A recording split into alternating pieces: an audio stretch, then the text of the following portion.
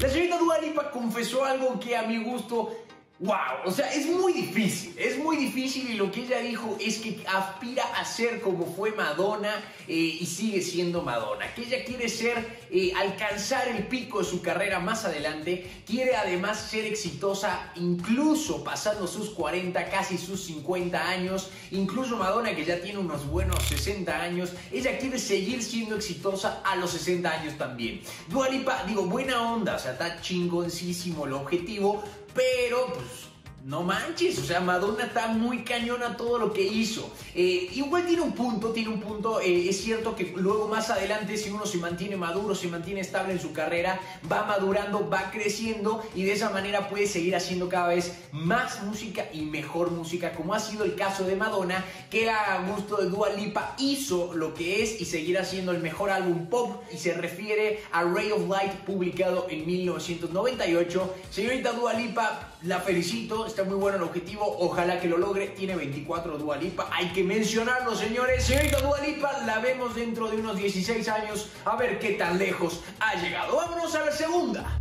Señores, y la siguiente noticia es quizás una noticia no tan alegre y tiene que ver con que el presidente de los Estados Unidos, Donald Trump, utilizó una canción por la cual no tenía autorización para usar. ¿Qué fue lo que pasó? Que la familia del ex cantante y compositor fallecido Tom Petty se tomó la libertad, por supuesto, de reclamar que esto no había sido autorizado. La canción que utilizó el presidente fue I Won't Back Down, una canción de Tom Petty de 1989 y envió un comunicado pidiendo el cese y desistimiento de los encargados de la reelección del mandatario de los Estados Unidos. Exactamente, el mensaje fue la familia de Tom Petty se mantiene firme contra el racismo y firme contra cualquier tipo de discriminación.